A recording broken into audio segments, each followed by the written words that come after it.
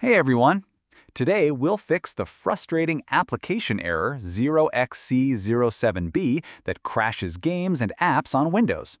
I'll explain why it happens and show three proven solutions. Let's dive in. This error means a mismatch between your app and critical DLL files. Apps need DLL libraries that come in 32-bit or 64-bit versions.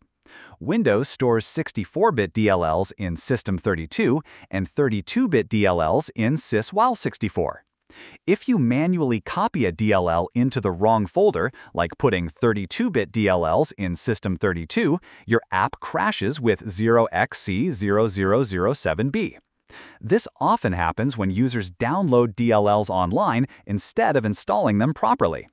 First, remove any manually added DLLs download the Visual C++ redistributable all-in-one installer from the link below.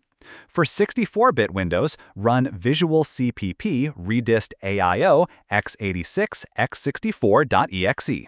Follow the installer prompts. Restart your computer. This fixes most cases since apps rely on these libraries. If the error continues, your system files might be damaged.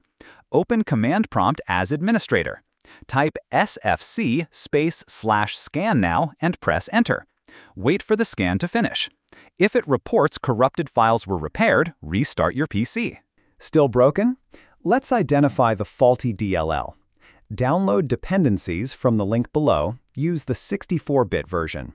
Extract the zip file and open dependencies.exe. Drag your app's exe file into dependencies. Check the report.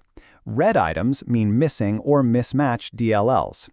If a DLL shows i386, it's 32-bit, but should be 64-bit or vice versa. Fix by replacing the DLL correctly or repeating previous fixes. Remember, never manually dump DLLs into system folders. Always use installers for libraries. System repairs and dependency checks resolve tricky cases. Links to all tools are below. Good luck!